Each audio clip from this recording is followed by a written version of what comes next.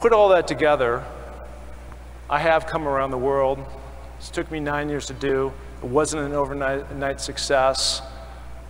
Um, and then something very, very, very fortunate happened to me.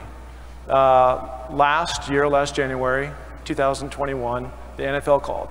And they said, hey, Mark, we heard about your story, and we want to do a film on it. We want to shoot a documentary.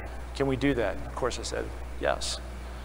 And so they came over, and they put together this piece called Searching for the Summit. Take a look. life after football for me was just a very, very lonely place. I started this journey to climb the seven summits was 10 years ago. Everest, you know, is the highest point on earth, and it is the pinnacle of achievement for a lot of people. We had a lot more bad weather than normal. Solid day. You've been under intense windstorm. If you make the wrong decision on Mount Everest, your body stays there forever. I found the mountains because of this tough place I was in.